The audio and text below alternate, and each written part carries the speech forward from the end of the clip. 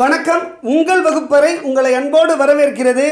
இன்னைக்கு தினம் ஒரு கேள்வி பகுதியில் நம்ம பார்க்கக்கூடிய கேள்வி கடந்த குரூப் ஒன்னில் கேட்கப்பட்ட ஒரு கேள்வி ரொம்பவும் ஒரு எளிமையான கேள்வி. கணக்கை பொறுத்த வரைக்கும் குரூப் ஒன்னில் ரொம்பவும் சுலபமாக கேட்டு வச்சுருக்காங்க அப்படிங்கிறத யாராலையுமே மறுக்க முடியாது.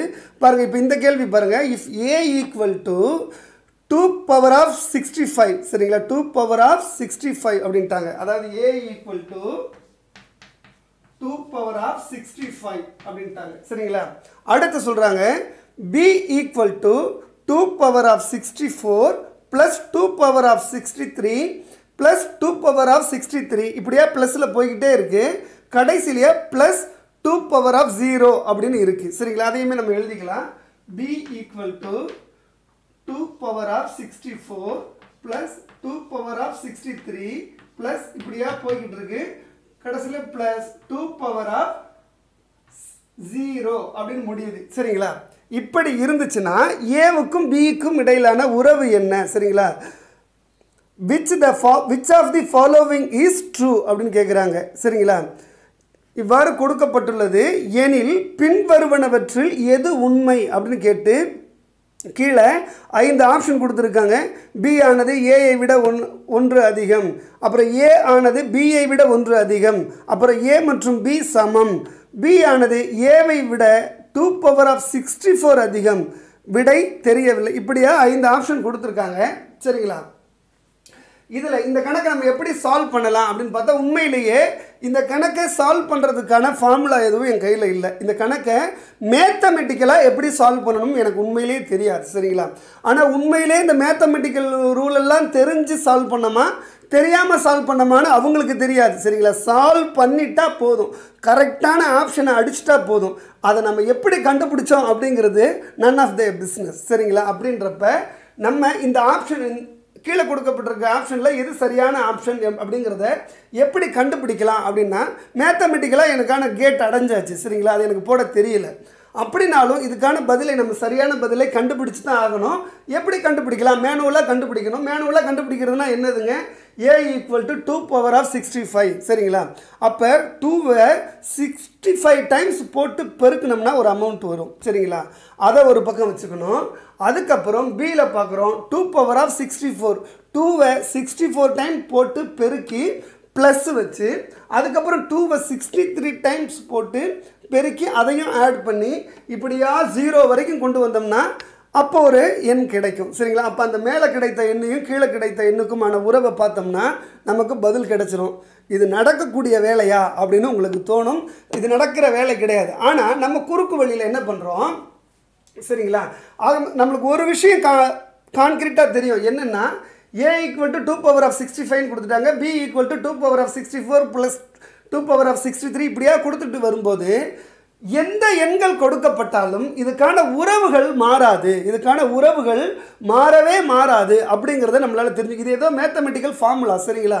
இது நிச்சயமாக மாறாது அப்படிங்கிறது மட்டும் உறுதியாக தெரியும் சரிங்களா?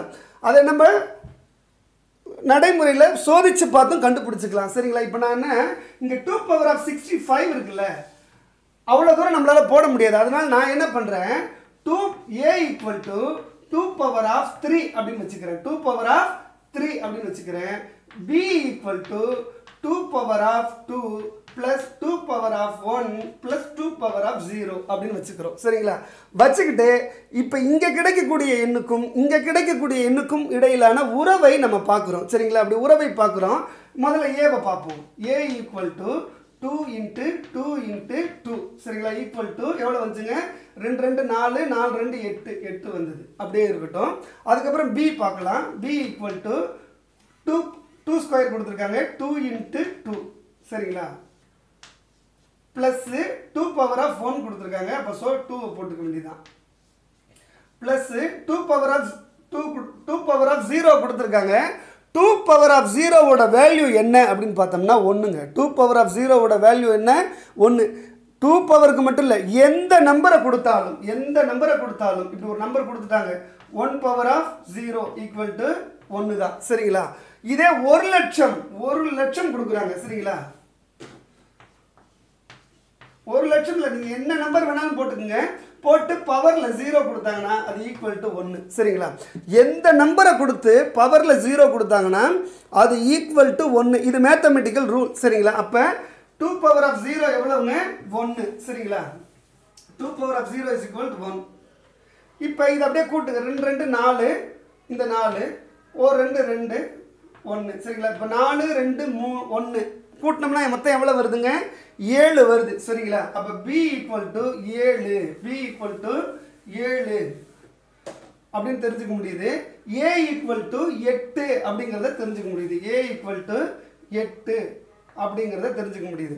அப்போ பியை விட ஏ ஒரு எண் அதிகமாக இருக்குது சரிங்களா? பியை விட ஏ ஒரு எண் அதிகமாக இருக்குது நமக்கு ரொம்ப இதில் சந்தேகமாக இருந்ததுன்னா இப்போ நான் A power A equal to two power த்ரீன்னு கொடுத்தேன் இல்லைங்களா? நீங்கள் டூ பவர் ஃபோர் கூட போட்டுங்க டூ பவர் ஃபோர் போட்டு இங்கே ப்ளஸ் டூ பவர் த்ரீ சேர்த்துக்குங்களேன். சேர்த்து திருப்பி போட்டு பாருங்கள் அதே மாதிரி ஒன்று தான் வித்தியாசம் வரும். ரெண்டு முறை இல்லை மூணு முறை அப்படியே செக் பண்ணிக்கோங்க. நம்ம அந்த ஸ்பாட்லேயே உட்காந்து என்ன சின்ன சின்ன நம்பர் வச்சு தான் நம்ம செக் பண்ண போகிறோம் ஒரே நேரத்தில் வேகமாக நம்ம அந்த ஒரு நிமிஷத்துக்குள்ளே அதை முடிச்சிடலாம். கடகடன்னு செக் பண்ணிட்டு இப்போ நான் எக்ஸ்பிளைன் பண்ணுறதுக்கு தான் எனக்கு லேட் ஆகுதே தவிர நம்ம கணக்காக போட்டோம்னா அதை ஒரு நிமிடத்துக்குள்ளே முடிக்கக்கூடிய வேலை தான் சரிங்களா? அப்போ இன்னும் ஒரு நம்பரை கூட ஆட் பண்ணி சேர்த்து பார்த்தீங்கனாலும் இதே ஒன்று வித்தியாசம் தான் வரும். அப்போ என்ன தெரிஞ்சுக்க முடியுது? பிஐ விட ஏ ஒன்று அதிகம் அப்படிங்கிறத தெரிஞ்சுக்க முடியுது. அது எந்த ஆப்ஷனில் இருக்குது அப்படின்னு பார்த்தீங்கன்னா பி ஆப்ஷனில் இருக்குது பாருங்கள் ரொம்ப சுலபமாக போடலாம். கணக்கு போட தெரியலனாலும் நம்ம எளிமையான ஒன்றை அதில் சப்ஸ்டியூட் பண்ணி பார்த்தோம்னா அதுக்கான பதில் நமக்கு கிடைச்சிரும். சரிங்களா? எப்பயுமே மேத்தமெட்டிக்ஸில் கஷ்டமான ஒரு விஷயம் இருக்குன்னா அதை எளிமையான ஒன்றாக நம்ம மாற்றி செஞ்சோம்னா நமக்கு சுலபமாக பதில் கிடைச்சிடும் அந்த அதற்கான உதாரணமாகவே இந்த கணக்கை நீங்கள் வச்சுக்கலாம் அப்படிங்கிறத சொல்லிக்கிறேன். நாளைக்கும் குரூப் ஒன்றில் கேட்கப்பட்ட இன்னொரு கேள்வியோடு வந்து உங்களை சந்திக்கிறேன். அது வரைக்கும் நன்றி வணக்கம்.